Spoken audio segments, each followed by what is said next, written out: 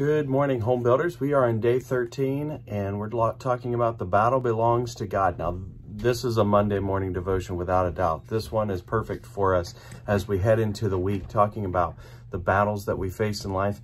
And we find ourselves in Second Chronicles chapter 20. This is good stuff. I, lo I love this, where the King Jehoshaphat's in, in charge at this point, and it said, And he said, Hearken ye, this is a prophet of God, by the way, he says, And hearken ye, Uh, all Judah and ye inhabitants of Jerusalem, and thou King Jehoshaphat, thus saith the Lord unto you, Be not afraid nor dismayed by reason of the, this great multitude, for the battle is not yours, but God's.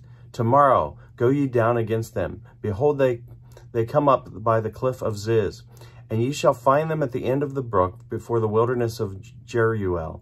Ye shall not need to fight in this battle. That's a cool way to do it. Yet yourselves stand ye still and see the salvation of the Lord with you. O Judah and Jerusalem, fear not, nor be dismayed.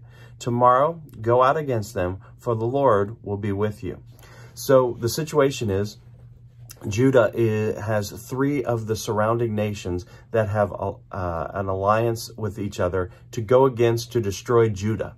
And King Jehoshaphat, he cries out to the Lord and he seeks what God would have them to do. There's no way they're going to win. I mean, because they're just grossly outnumbered. So they go to the Lord and the prophet speaks those words that I just said to you. And God says to them, go down there, but you will not have to fight.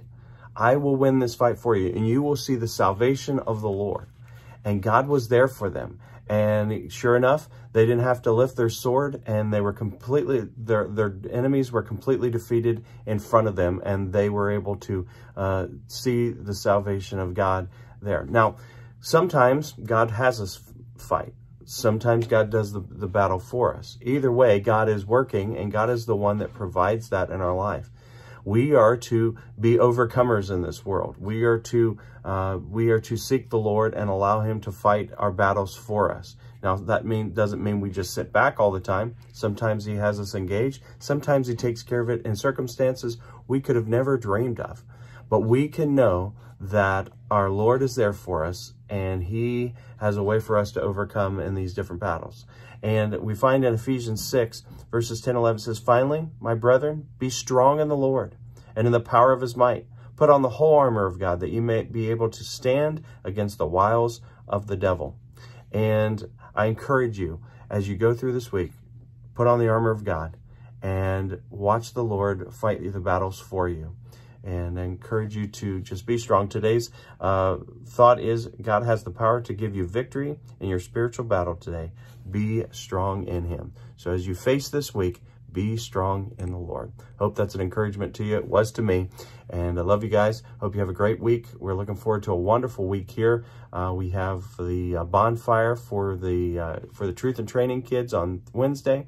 We have trunk or treat on Thursday and then a big family fall thing on Sunday morning. So I hope you'll, you'll come out to any and all of those things. Have a great week. Love you guys. Bye.